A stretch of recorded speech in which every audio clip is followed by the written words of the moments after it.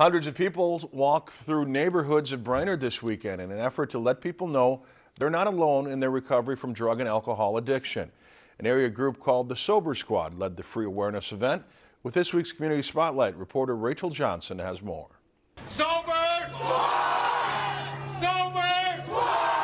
Hundreds of people of different ages, lifestyles, and backgrounds gathered at Lum Park on Sunday with the shared purpose to let people know they are not alone in their recovery. Everyone getting together and letting everyone know that we you're not alone in recovery and that we are here for you. To let the uh, community know we're all here for them. Um, get involved, get the family of friends, everybody involved in it.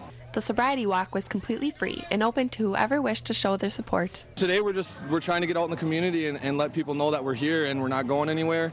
Um, you know, there's tons of programs out there uh, for you know recovery, but with with Sober Squad, you don't have to be anonymous no more. The walk was over three miles long and took participants through areas in the community that they felt were the most hard hit by drug and alcohol abuse. The walk was put together by the Sober Squad, a group that was founded in 2017 on the Mille Lacs Indian Reservation. Basically, uh, there was all these different recovery communities all over the state, but nobody was working together. And so we coordinated a lot of different things, working together with all these different people um, and coming together as one unit, all of us that are in recovery.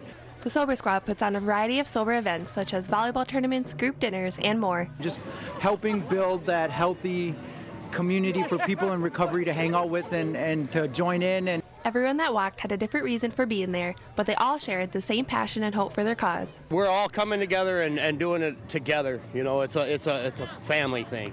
To let people know that they are not alone and that we're all here as a family. Even though Sober Squad has only been around for a couple of years, they are already growing and spreading the message of recovery across the state. It's given me a whole other purpose in life, um, giving back to the community, showing them, you know, that. Uh, just because I did live a life in addiction, I'm not a bad person. And the biggest thing is just showing the fellow addict who's still stuck that there, there is hope. Reporting from Brainerd with this week's Community Spotlight, Rachel Johnson, Lakeland News. The Sober Squad has grown to thousands of members across the state and is open to anyone with an alcohol, drug, or any addiction of any kind. If you enjoyed this segment of Lakeland News, please consider making a tax-deductible contribution to Lakeland PBS.